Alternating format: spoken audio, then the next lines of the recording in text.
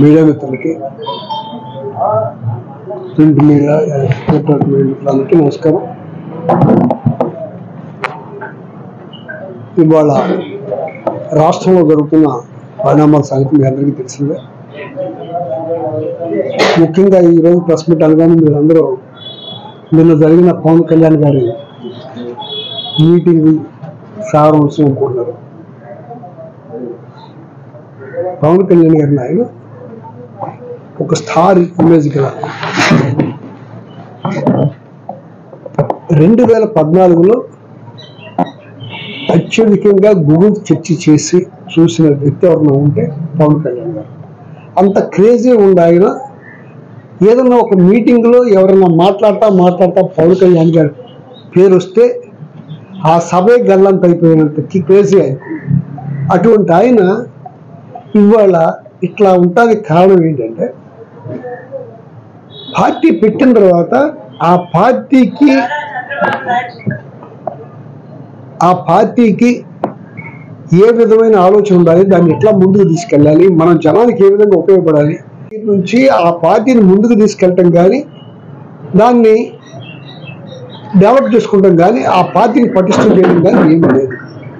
మీ అందరికీ తెలిసింది ఉద్యానం సంగతి చెప్తారు ఆయన. రాత్రి కూడా ఉద్యానం సంగతి ఇస్తారు ఆ ఉద్యానంలో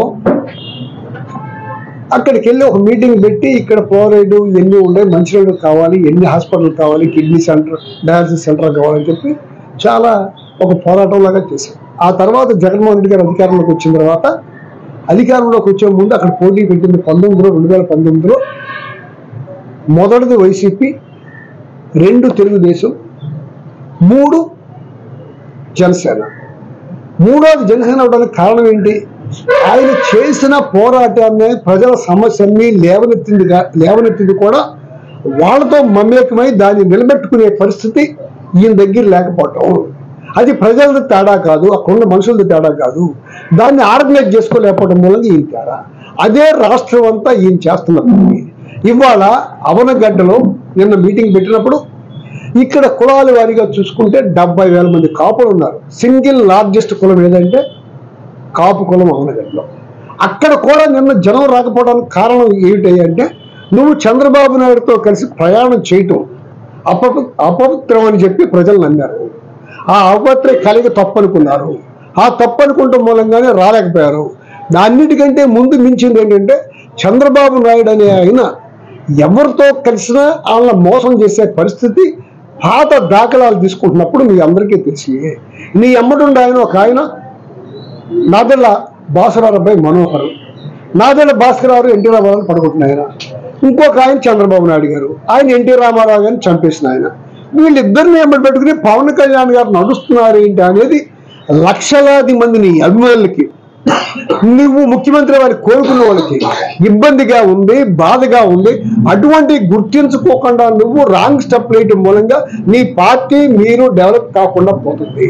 నీ పార్టీని పటిష్టం చేసుకోవాల్సిన పరిస్థితిని మర్చిపోయి ఎంత తప్పిదానికైనా ముందడుగేయటం మూలంగా ఇటువంటి అనర్థాలు అన్ని జరుగుతున్నాయి. నిన్న అవనగడ్డలో మీటింగ్కి నువ్వు రెండు గంటలకు వచ్చి ఆరు పదికి బిగిన్ చేయడానికి కారణం కూడా ఆ తప్పిదాల మూలంగానే. లేకపోతే మామూలుగా నువ్వు మీటింగ్ పెట్టినా వేలాది మంది ఇక్కడ రావాలా? రాకపోవడానికి కారణం చంద్రబాబు నాయుడు గారు. ఏ విధంగా ముద్రగడ్డ పద్మనాభం గారిని ఇబ్బంది పెట్టారు?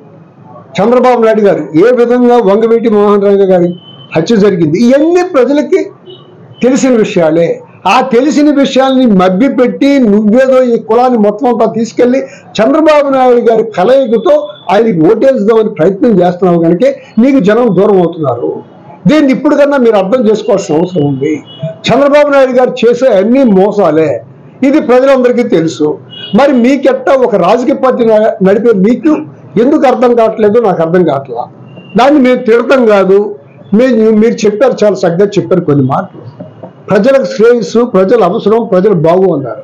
ప్రజల శ్రేయస్సు అంటే అమ్మఒడి ప్రజల అవసరం రైతు భరోసా ప్రజల అవసరం నాడు నేడు స్కూల్స్ బాధ్యత ప్రజల అవసరం.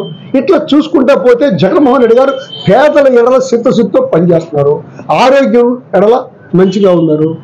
ఈ రాష్ట్రం ఏర్పడిన దగ్గర నుంచి పదకొండు గవర్నమెంట్ మెడికల్ కాలేజీలు ఉంటే ఈ ఐదు సంవత్సరాల్లో ఈ నాలుగున్నర సంవత్సరాల్లో పదిహేడు మెడికల్ కాలేజీలు జగన్మోహన్ రెడ్డి గారు శంకుస్థాపన చేసి అందులో ఐదు కాలేజీలను మొన్న ఓపెన్ చేశారు అడ్మిషన్ జరుగుతున్నాయి. నెక్స్ట్ ఇయర్కి ఒక ఐదు వస్తాయి. ఆ పై ఆ పై వచ్చే సంవత్సరం ఏడు వస్తాయి. ఇవన్నీ ప్రజలకు శ్రేయసా కాదా? ప్రజల అవసరమా కాదా? ప్రజలకు ఉపయోగపడుతున్నాడా లేదా అని ఆలోచుకున్నప్పుడు మీకు అర్థమవుతుంది. అట్లా కాకోకుండా జగన్మోహన్ రెడ్డి గారిని ఇంటికి పంపించేస్తాను చంద్రబాబు నాయుడిని గద్దెక్కిస్తాను అన్నప్పుడు జనం బాధలు అర్థం కావు కష్టాలు అర్థం కాదు ఏది రైటో ఏది తప్పో అర్థం కాకుండా పోతుంది. ఒక్కసారి వెనక్కి తిరిగి చంద్రబాబు నాయుడు గారి క్యారెక్టర్ ఆయన ఉన్న మనుషుల క్యారెక్టర్లు ఆలోచించుకోమని చెప్పి ఖచ్చితంగా ఈ రాష్ట్రానికి పేదలకు ఉపయోగపడినట్టుగా ఉన్న జగన్మోహన్ రెడ్డి గారు మళ్ళా ప్రజలు దీవించడానికి సిద్ధంగా ఉన్నారు. దీంట్లో నిస్సంకోచంగా ఏమీ తేడా లేదు. నిన్న అవనగడ్డ మీటింగ్ ఫెయిల్ అవడానికి కారణం కేవలం అదే. డెబ్బై వేల మంది కాపులు ఉన్న చోట ఇతర కులాలు ఉన్న చోట ఇక్కడ ఆ జనాభా కనీసం ఆరు ఆరున్నర వేల మంది కూడా రాకపోవడానికి కారణం మీరు తీసుకున్న రాంగ్ స్టెప్పే కారణం తప్ప ఇంకోటి కానే కాదు. ప్రజల అవసరం ప్రజల తీర్చే విధంగా అవసరాలు తీర్చే విధంగా వాళ్ళ కష్టాలు తీర్చే విధంగా జగన్మోహన్ రెడ్డి గారు నడుస్తున్నారు. అందుకే జగన్మోహన్ రెడ్డి గారికి మళ్ళీ అధికారం ఇస్తారు. మీరు చెప్పారే పదిహేను సీట్లు మాకు కాదు వచ్చింది. కౌరవులు ఎవరంటే అందరూ గుంపులు గుంపులుగా కలిసి వచ్చేవాళ్ళు కౌరవులు. జగన్మోహన్ రెడ్డి గారే పాండవుల రాజ్యం. ఖచ్చితంగా ఈ రాష్ట్రంలో మళ్ళీ జగన్మోహన్ రెడ్డి గారి అధికారంలోకి వస్తాడు. ప్రజలు ఆయన ఎడలే శక్తిశక్తితో పనిచేస్తున్నారు. ఆయన తరపే ఉన్నారు